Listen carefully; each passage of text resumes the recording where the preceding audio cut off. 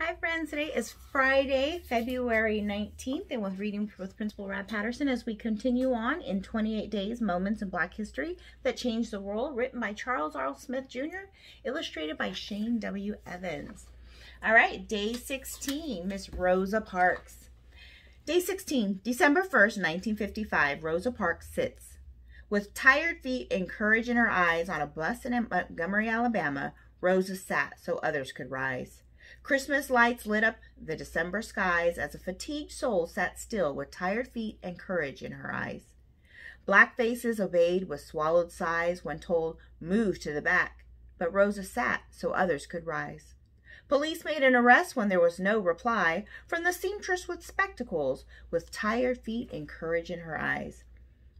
The jail with eyes focused on freedom's prize, the color line was questioned when Rosa sat so others could rise standing up to injustice by taking a seat. With tired feet and courage in her eyes, Rosa Parks sat so others could rise. Rosa Parks inspired the civil rights movement. When her story spread across Montgomery, a boycott of Birmingham buses was organized by a young minister by the name of Martin Luther King Jr. And that is Miss Rosa Parks. Have a good evening, friends.